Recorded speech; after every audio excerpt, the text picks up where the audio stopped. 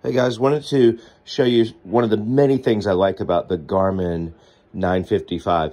Every morning it'll give you a morning report and it tells you a lot of things like how ready is your body to train. So have a look at this. Today, the training readiness score on a 1 to 100 is actually a 1, quite low. And then it makes a suggestion. Today, we need a rest day, which is interesting because I was going to go train today. And then you ask, well, hey, what are the factors that lead to that? So if you click on it, here's your training readiness score. You want to know why. First off, it says not good sleep last night. So you can click on that. And although I slept eight hours, a very low sleep score. And it tells you the zones you were in and light sleep. And you see only 50 minutes of deep sleep last night. And it says I slept long enough, but my body did not recharge very well. So that's one factor. And then if you want to look at the other one, recovery time, I had a big day training yesterday, so I need 86 hours to recover. And then heart rate variability, which is the new thing. You're going to hear a lot about this.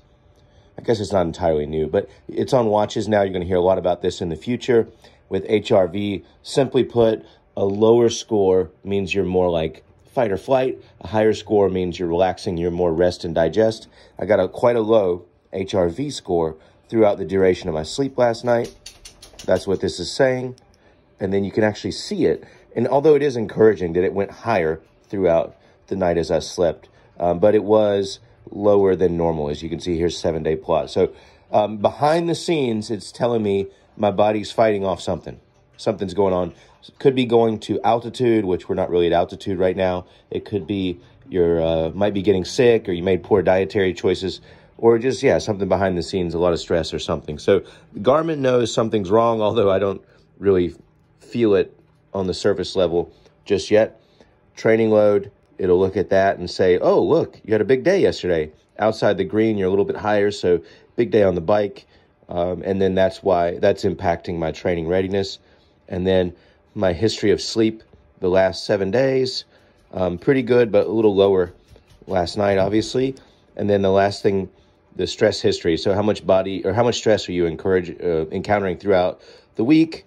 And hey, at least one thing I do right, I don't really have a stressful life. So based on all this, the Garmin 955 will tell you how ready are you to train or not. So um, today is going to be a rest day because of the sleep, because of the HRV. And hey, it even gives you a little motivational thing and tells you to take it one day at a time.